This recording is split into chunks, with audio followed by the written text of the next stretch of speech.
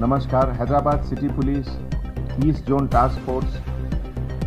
के तरफ़ से एक inter state banned tobacco supplier की गिरफ्तारी हुई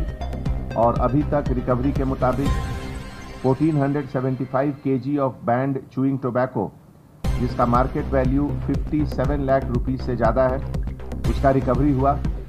और इस सिलसिले में अफजलगंज पुलिस स्टेशन के साथ टास्क फोर्स वालों ने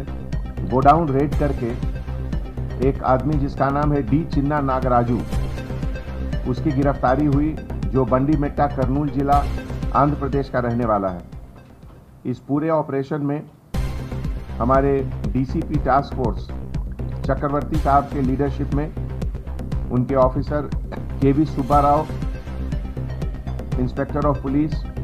और sub sub inspector officer C Venkatesh Govind Swami G Srinivas Reddy, P Vasudev,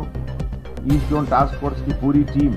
और साथ में M Ravinder Reddy inspector of police Afzalganj, ये लोग बहुत अच्छा काम किए हैं। इस मौके पे मीडिया और प्रेस के तरफ़ से पब्लिक को हम एक अपील करना चाहते हैं कि बैन टोबैको गांजा, इस तरह के आइटम के बारे में अगर कोई इन्फॉर्मेशन आपको है